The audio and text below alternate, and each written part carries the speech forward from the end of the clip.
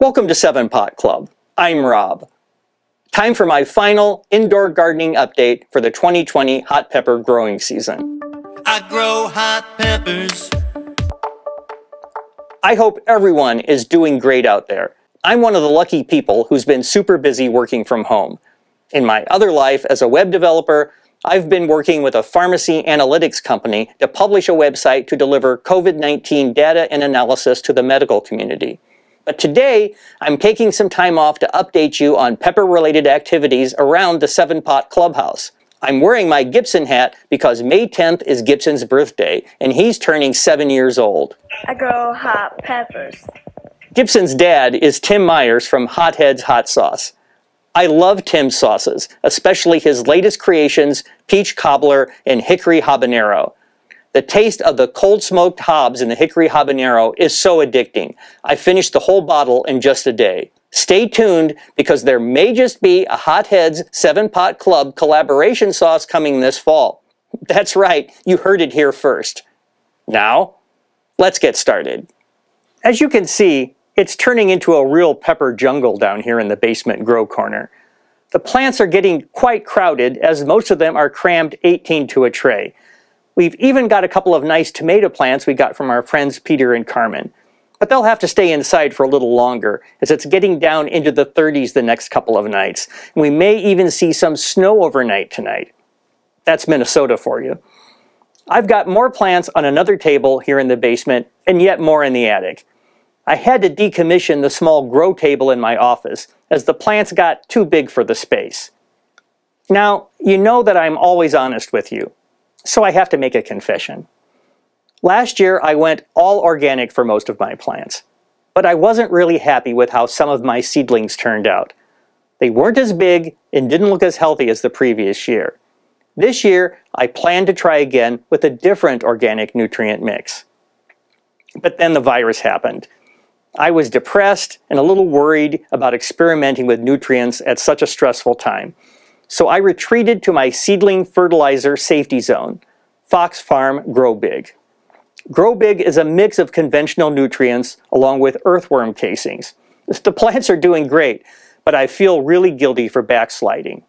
I hope you won't think less of me, and I do intend to use all organic outdoors, relying on Fishnur organic fish manure compost just like last year. A little note, if you want to try Fox Farm Grow Big yourself, you know, watch when you buy it because there are different versions for soil and hydroponic. Anyway, glad I got that off my chest. Now, let's move on to other topics. I have so many plants, and you'll be seeing all the varieties up close and personal over the course of the growing season. So today, I just want to give you a quick peek at a few of them. Now, if you like ornamentals, Here's a really nice one that's new to me this season. This is Blue Christmas, seeds courtesy of Peter Stanley.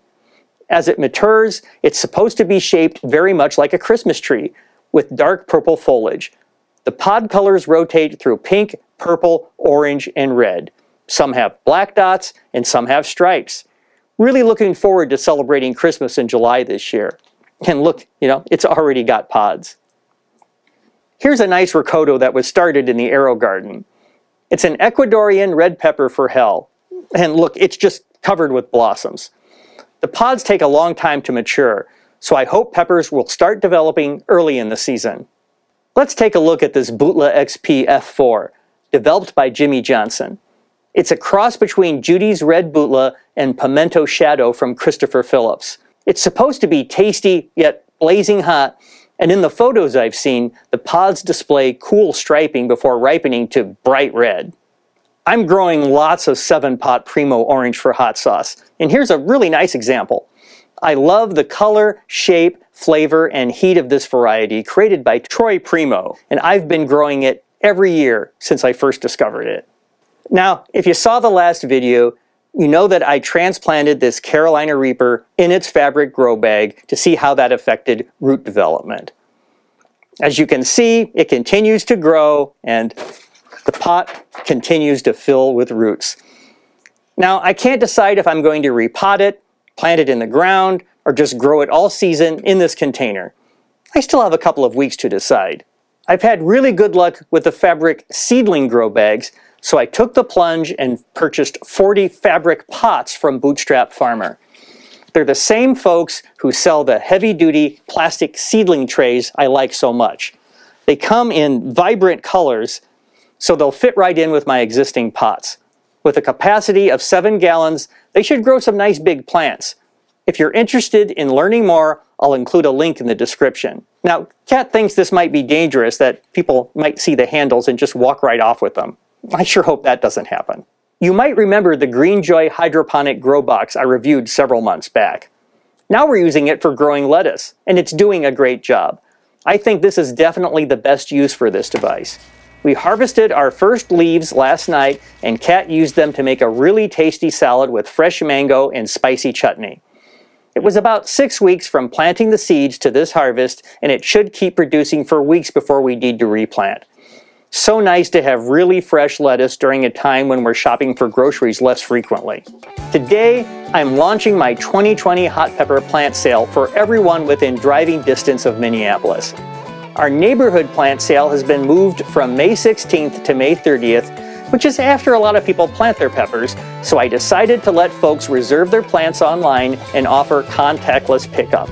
I've got all the details on our website. The link is up in the right corner of the screen if you're watching on a device that supports that, and if not, it's also in the video description. In addition, we'll post info on all our social media accounts. I look forward to seeing my Minnesota friends and saying hello from a safe distance. If I still have plants left on May 30th, I'll bring them to the neighborhood sale and I'll post info about that as the date gets closer. My friend Brad Betger is also selling plants. He's got a nice variety of good looking ones and I'll post a link to his sale info in the description. If you enjoyed this video, please give it a like, subscribe to our channel, and tap the bell to receive a notification each time we post a new episode. Next month, on June 19th, I'll be turning 65, which will officially make me an old geezer. I'll finally be eligible for all those sweet senior discounts and early bird specials I've been missing out on all these years. So, what do I want for my birthday?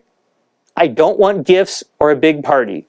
What I want is to fulfill my dream of 10,000 subscribers on YouTube. As of today, we're less than 1,200 subs away from that goal. So if you haven't already, please subscribe. If we don't reach the goal, I'll just curl up in the fetal position and cry in a dark corner of the basement. But if we do reach 10K, I promise a live birthday Bacchanal blowout right here on YouTube. Check out all our 7-Pot Club and Hot Pepper themed merch, including this new design, at 7pot.club slash merch. And for even more 7-Pot Club, follow our daily exploits on Instagram, Twitter, and Facebook. For 7-Pot Club, I'm Rob. Stay safe, everyone.